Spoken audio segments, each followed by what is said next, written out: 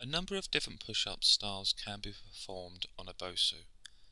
It's easier to have the flat side of the Bosu on the floor, having your feet placed centrally. Place your hands underneath your shoulders with fingers facing forward, aiming to keep your wrist, elbows and shoulders in line at the start of the exercise.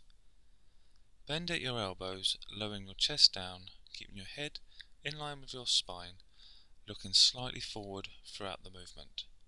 Avoid dropping your head down towards the floor. Aim to make a right angle with your arms, holding for a split second, then exhale as you return back to your starting position. Throughout the exercise, try and keep your core muscles engaged, as this will help prevent you from either dropping your middle or extending your butt in the air.